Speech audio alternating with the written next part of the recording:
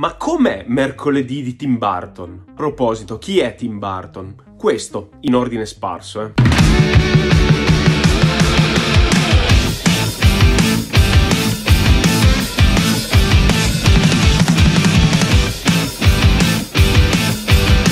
Mercoledì Adams.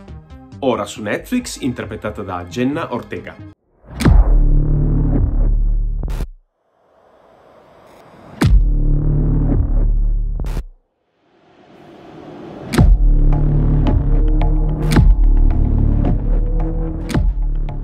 Personaggio che verrà ricordato in futuro come uno dei personaggi top delle serie tv, magnetica, intrigante e piacevolmente scostante. Insomma, parliamo di un personaggio difficile da dimenticare, che ti entra nella testa da subito. Dal momento che non è un adattamento della vecchia famiglia Adams, mercoledì riesce a creare il suo mondo alle sue condizioni. Una costola geneticamente modificata, diciamo. Questo è un pregio, cari miei. Tim Burton è il regista dei primi quattro episodi e il leggendario compositore Danny Elfman continuano ad andare perfettamente in sincrono. Non aspettarti che mercoledì sia così stravagante eh, come una delle pellicole del maestro ma l'aspetto gotico agrodolce, l'incrocio riuscito tra le atmosfere di Harry Potter e diciamo la sposa cadavere ve ne faranno sicuramente innamorare. Tralasciando alcuni piccoli difetti, tra cui eh, triangoli amorosi e scelte forse un po' troppo teen, mercoledì è un vero gioiellino per i giovani fan dell'horror in erba, che cercano però un grande passo avanti rispetto alle solite banalità.